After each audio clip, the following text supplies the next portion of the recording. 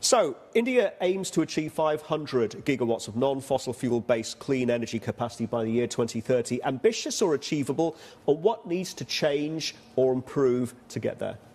Yep. Quick answer it's a very ambitious, lofty goal. Mm. So, to put, to put that into context, India has to add about 50 gigawatts of renewable capacity every year by 2030 to hit that target. In 2024, it's a record um, additions year, and we've only seen under half of that, 25 gigawatts. So very ambitious. Um, it's riddled by a bunch of challenges. Um, grid capacity constraints is a big one, so challenges in infrastructure, um, as well with as well as um, delays in signing agreements, actually getting these um, you know projects to into execution. So that's a massive hurdle that will, we believe, make India fall short of this goal. India is concurrently planning to add 80 gigawatts of new coal plants by 2032. So that's hedging to a large extent because of uh, the importance of reliable supply and this issue of intermittency too. Does that tell you that policymakers themselves recognise that the current frameworks need to be changed and may not adequately support 500 gigawatt renewable approach? Yeah, exactly. So India's coal capacity will continue to increase, mm. albeit at a slower rate. And sort of India's approach is to ensure that it has overcapacity that includes coal, mm. um, and in addition to renewables, um, just because of you know all of, all of the issues that the intermittency of renewables bring. So before it can you know um, very uh, with assurance have that baseload capacity, India will be slow to phase out coal, um, and yeah slower than expected.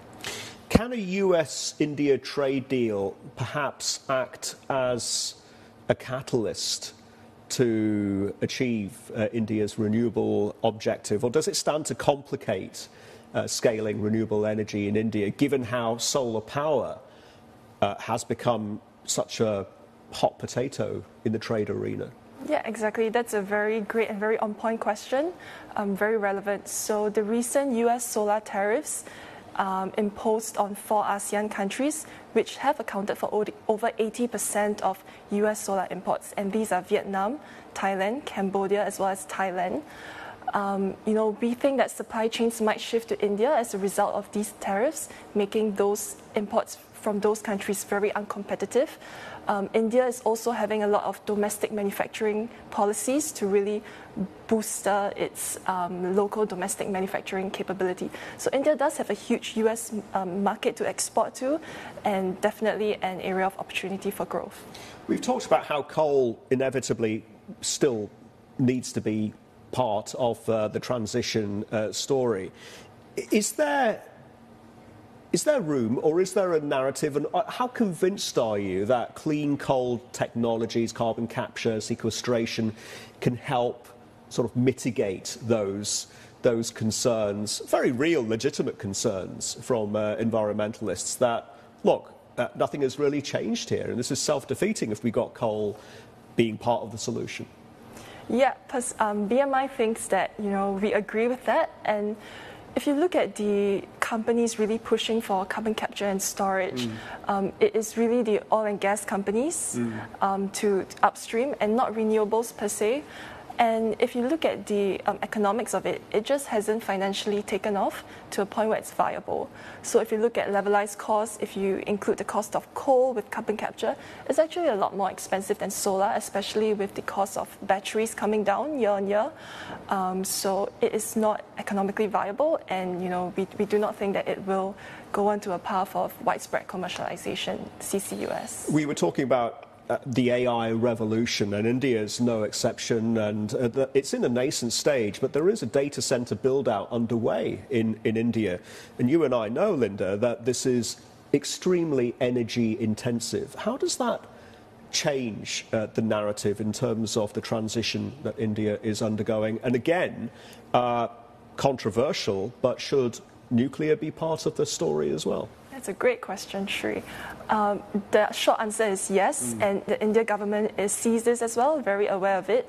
And it's in its recent India budget, 2025-2026, released in February, it has set very lofty goals for nuclear um, by, by the next decade. So, with the rise of new novel technologies as well, such as small modular reactors, um, India is you know, at the forefront of nuclear development, and, and clean round the clock baseload is, is becoming increasingly important for data centers to run. Yeah. What is the workaround then, uh, as you see it? And let's start with uh, the grid capacity constraints. What can policymakers and the public and the private sector do in collaboration to uh, overcome these challenges on the grid side? Great question, Sri. For the grid side, um, it is really the public sector that's pushing grid expansion, mm. grid upgrades, connectivity, building new transmission, distribution lines. Because of um, the nature of where distribution companies, which are sort of in charge of grid build out, are owned by the public, discoms, um, and they're not privatized, despite there having been talks, you know, over the years of privatization, we just haven't seen it yet. Um, uh, except in a few uh, states such as Delhi. So um, there is a limited amount that the uh, private sector can do in terms of grid, but there are other new technologies such as battery storage that can inter- uh, that can you know sort of address these intermittency issues that comes along with renewables. What does it mean for, for, the, for domestic pricing uh, as, as, this, as this transition gets underway with the, with the challenges and the opportunities and the workarounds that are uh, necessary? Does it mean that businesses and consumers will have to pay more, perhaps, for their power? So there are a few elements to this, and you know there might be opposing forces. Let mm. me go into it. So India is predominantly reliant on coal, and mm. BMI's oil and gas team forecasts coal prices to actually come down, um, see a downwards pressure in the next two years. So that's on the bright side. However, on the um, less less bright side, you know, solar and you know renewables is becoming increasingly important.